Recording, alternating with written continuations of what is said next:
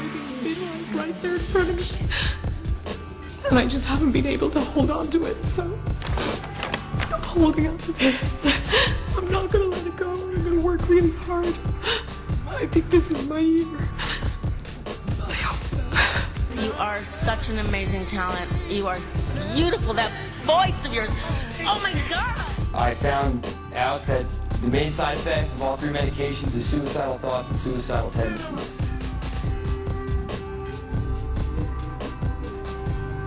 Ten thousand Iraq war vets committed suicide. My name is Ole Peter Goodman. I'm a proud warrior and a prouder patriot. And then that's my problem with the VA. You know that club is hot last night. Did you see that juice head grinding up on me? Snooks, that was the situation, girl. That was you. Hell yeah, baby girl. You don't recognize our situation when you see it? The people who worked at BP who were coming to see her were only allowed to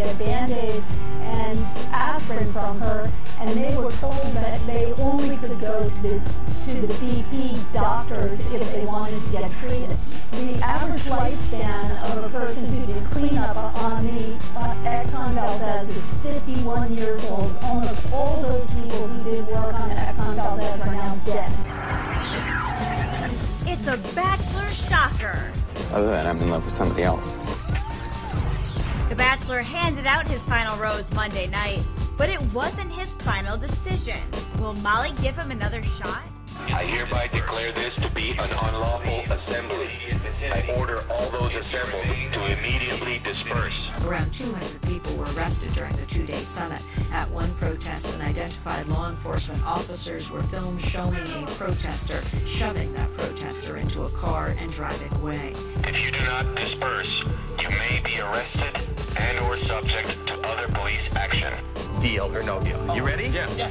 Should we bring him out of the vault? And He's in a vault? Look at him in the vault. Oh, there he is. Hi, Bobby.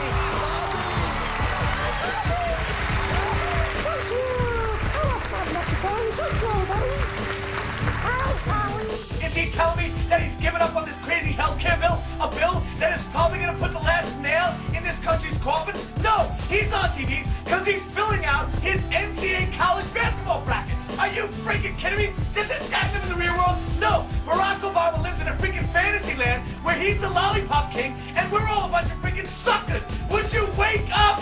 Wake up! And all you people out there saying, Bob, you're only saying this because you don't like Barack Obama. You don't like Barack Obama. You know what? Let's take Barack Obama out of the mix. Let's say you come home from school today. Your mother sits you down. She tells you your father just lost his job. Your family is hundreds of thousands of dollars in debt. You're probably gonna lose your house and be living on the street in a couple of days. Let's say she says the neighbors have given up trying to help you. Your family and friends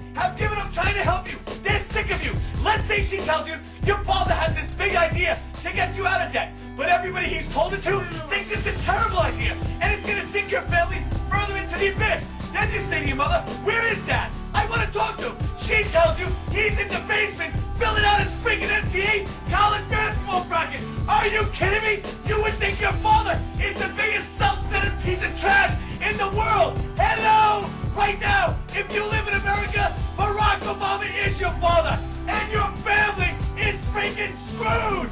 Would you wake up?